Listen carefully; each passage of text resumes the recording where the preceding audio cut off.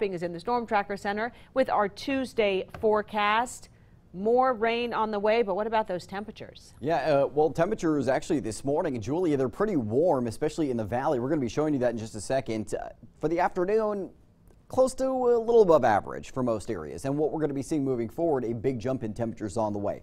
More rain and snow continuing today, really through tomorrow. Thunderstorms very much possible today as well in many areas of the valley and foothills. And then sunny and warmer conditions are on the way late this week through your upcoming weekend. Winter storm warning in effect right now in the northern Sierra. This is set to continue through early tomorrow morning. Right now set to expire at 6 a.m. Wednesday, but we could see that extended. Snow levels today for the Sierra and southern Cascades down to as low as 4,000 feet by this afternoon. Could see them as low as 2,500 feet tomorrow. Winter storm warning for Siskiyou County today through 10 a.m. and then tonight 10 p.m. through 4 p.m. tomorrow winter weather advisories going into effect for Trinity and Siskiyou counties.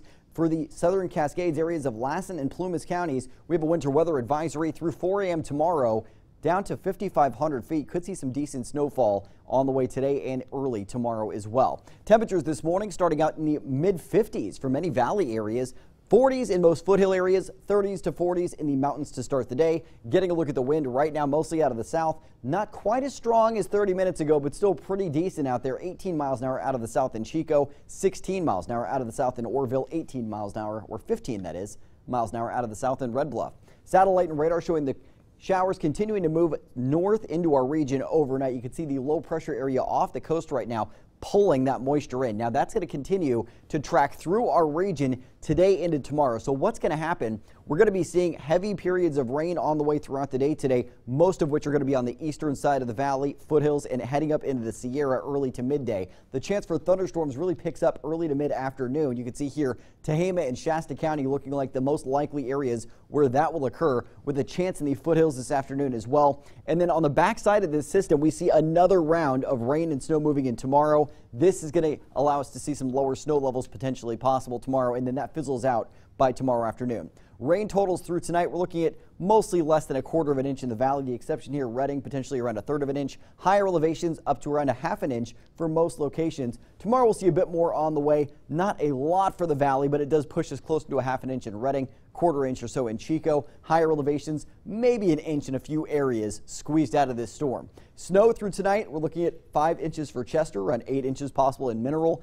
Heading to tomorrow, Mineral going up to around 10 inches, 6 inches in Chester, so we'll squeeze just a touch more snow out of this tomorrow, and then you get a look at what we're seeing for today.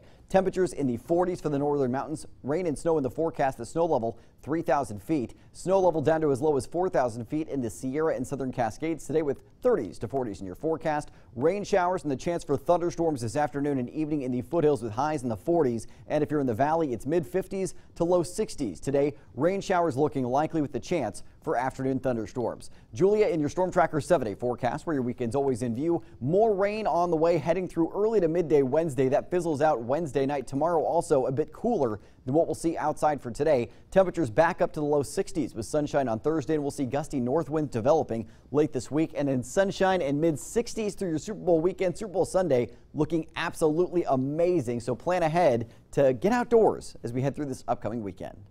All right.